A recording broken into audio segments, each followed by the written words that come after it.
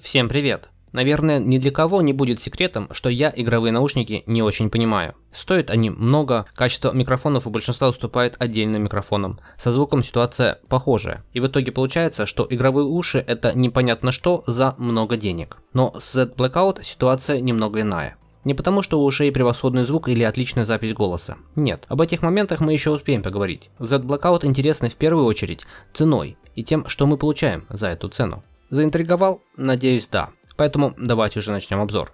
Коробка оформлена в фирменной стилистике Z. Выглядит она нормально, но я бы не назвал ее какой-то запоминающейся. Внутри этой коробки можно найти саму гарнитуру, съемный микрофон, кабель джек-джек, разветвитель, USB Type-C кабель и мешочек, в который аккуратно помещается все это хозяйство.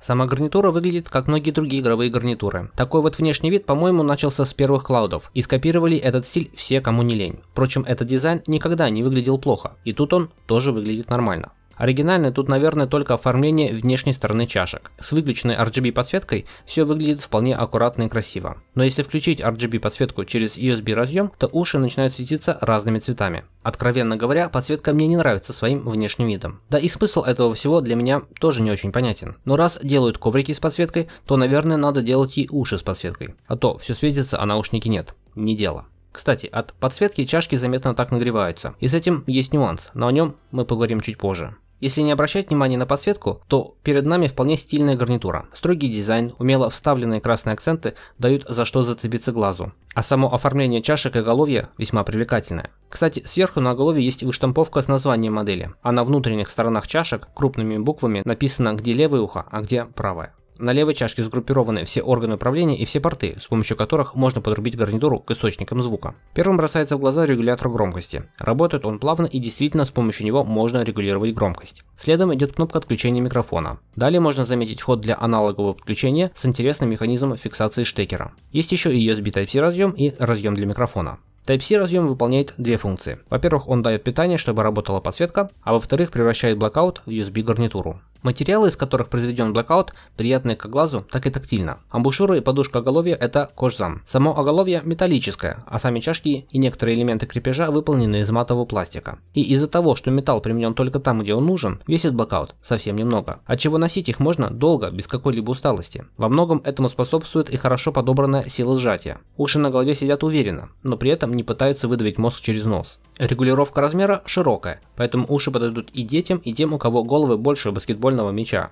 Правда, фиксация и индикация шагов выдвижения могла бы быть и получше, но в целом нормально. Подушка оголовья весьма мягкая и прекрасно распределяет вес на большую площадь головы. Чашки регулируются только в одной плоскости. Основной же для меня минус это материал амбушюр. Именно материал, ведь к наполнению и толщине амбушюр у меня претензий нет. Мои уши, учитывая, что Blackout чашки закрытого типа и они подогреваются подсветкой, начинают преть буквально через 10-15 минут. Полчаса и пот у меня вытекал уже из-под чашек. И к сожалению в комплекте других амбушюр нет. И наверное из-за материала амбушюр я так и не смог привыкнуть к Blackout. Мне было в них некомфортно и неуютно. Впрочем, у вас могут быть другие ощущения. Все зависит от того, насколько вам важно, чтобы ваши уши дышали.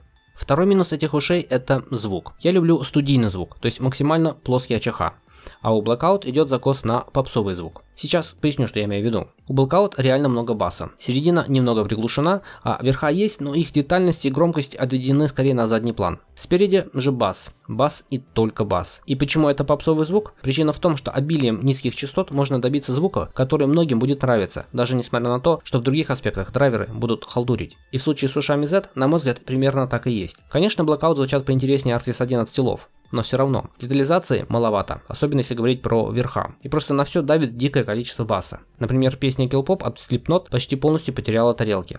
Зато барабаны и перкуссия заняла первый ряд. И как там не старается Кори Тейлор, перекричать барабаны он не может. Но если говорить про электронику или попсу, то не все так плохо. Ритмо или Мамасита от Black Eyed Peas мне в Blackout понравились. Как и в принципе смотреть какое-то кино, где куча взрывов и стрельбы.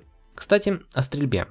Для игр Blackout неплохо заточены. Они будут давать сахар ушам при каждом выстреле, при каждом взрыве. И играя в сингл, вы точно получите удовольствие от каждого мгновения. В плане позиционирования и детализации шагов все не так здорово. Чашки закрытого типа, и сцена из-за этого не очень широкая. И из-за этого, естественно, позиционирование страдает. А общий упор в бас заставляет либо страдать от выстрелов, чтобы слышать шаги, либо понижать громкость и вслушиваться в шаги. И это получается как-то не очень удобно, если честно. Но давайте вернемся к чудесной моей попытке описать звук словами. По моим ощущениям, Blackout идут на грани превращения всего в кашу. Кажется, что еще чуть-чуть и все начнет бубнить. Blackout держит удар и все отыгрывает без ощущения, что на голове одето ведро. У Blackout есть еще и встроенная звуковая карта. Если подключить уши через USB разъем, то звук будет генерировать именно она. Но откровенно говоря, карта не очень высокого качества. В сравнении с аналоговым сигналом идет потеря по громкости и деталям. Если говорить про звукоизоляцию, то она на среднем уровне. Чашки закрыты, амбушюры плотно прилегают к голове, а материал амбушюр без перфорации особо не дышит. Идеальные условия для того, чтобы не слышать то, что вокруг вас, и чтобы не тревожить тех, кто рядом с вами. На максимальной громкости, правда, последнее утверждение нарушается, и рядом сидящие люди прекрасно будут знать, что именно вы слышите. Второй важный аспект игровых ушей – это микрофон.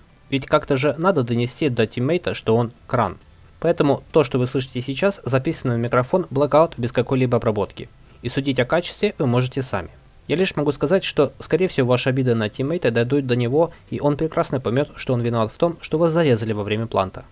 Подключается Blackout к компьютеру двумя способами. Первый, самый простой. Воткнули USB Type-C разъем в уши, второй конец в компьютер. Ослепились RGB подсветкой, дали возможность винде найти дрова, и все. Можно в бой или на YouTube. Кабель приятный, достаточно длинный и, наверное, его основной минус в том, что он немного дубоват. Второй вариант это забыть про подсветку, достать кабель Jack на Jack, проанализировать, что там с гнездами на компе, и либо воткнуть как есть, либо через разветвитель. Если получится угадать дырочку, то через уши пойдет звук. Если звука нет, то либо дырка не та, либо громкость на левой чашке на минимуме. Аналоговый кабель примерно такой же, как и USB кабель, то есть он дубоват, но зато на ощупь приятный. Мне, правда, с моим расположением системного блока немного не хватает длины.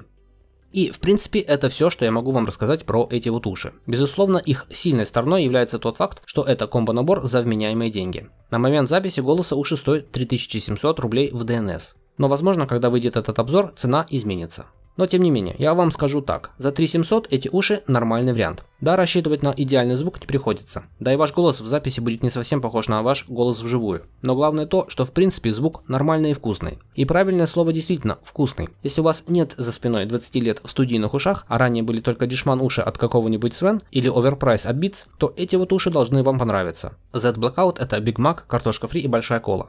Да, не лучшая еда в мире, но какая же она чертовски вкусная. За предоставленную гарнитуру выражаю благодарность магазину DNS. Ссылки на то место, где эту гарнитуру можно обменять на банкноты Банка России, я оставил в описании к этому видео. Переходите, смотрите, если интересно, покупайте.